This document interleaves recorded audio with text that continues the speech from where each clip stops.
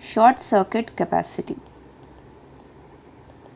So, in order to be able to choose the correct circuit breaker of the right ratings okay, and even the size and dimensions of the bus bar, we need to find out the short circuit capacity or it is also called as short circuit MVA. Okay.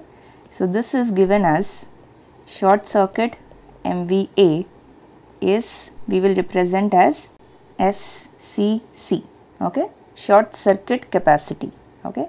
So, this is going to be equal to root 3 into VL which is the line voltage into the short circuit current 3 phase short, short circuit current into 10 to the power minus 3 MVA. So, why 10 to the power minus 3 is coming here? This is depending on the units of the parameters that we are taking, right. So, ISC is the 3 phase RMS fault current and this unit is in amperes okay and VL is the line voltage in kilovolt.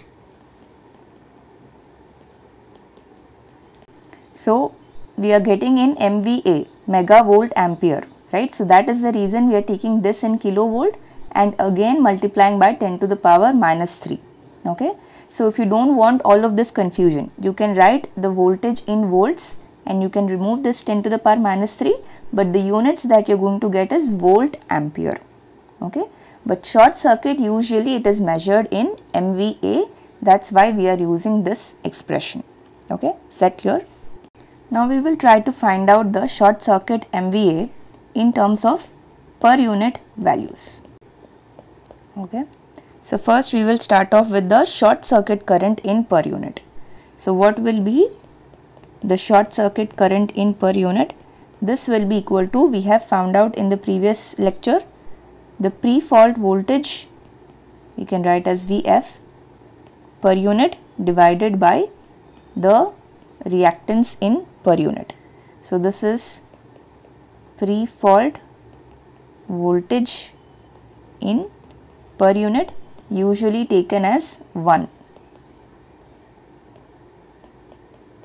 Okay, so this is an assumption, but this is usually taken as 1 per unit. Now, what is this? This is the Thevenin's per unit reactance as seen from the fault. So, this is the per unit value right. Now, consider the base value.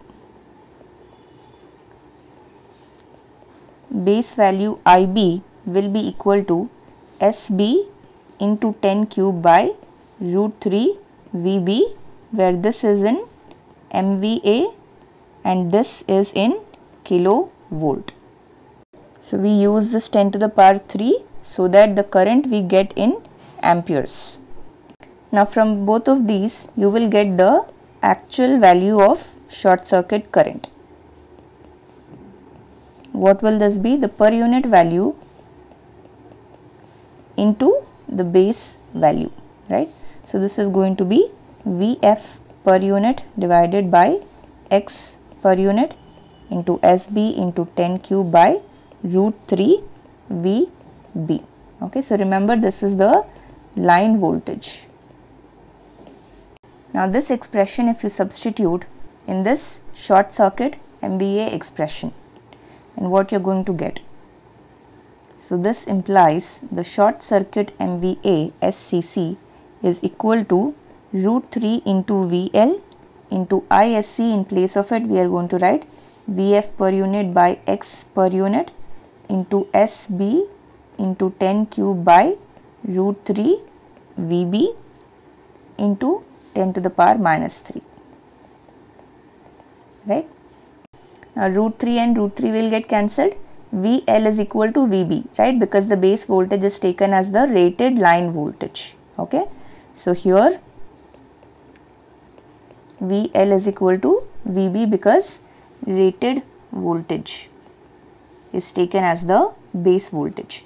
So, here you are going to be left out with Vf per unit into SB divided by the per unit value of reactance. So here 10 to the power 3 and 10 to the power minus 3 also will get cancelled.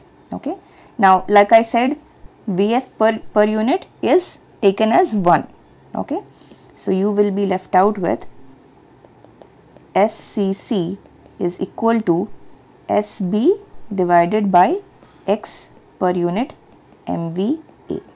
So this is because Vf per unit is taken as 1 usually. From here you can get the per unit value of the short circuit MVA. So what will this be? The actual value divided by the base value. So this is going to be SB by X per unit divided by SB.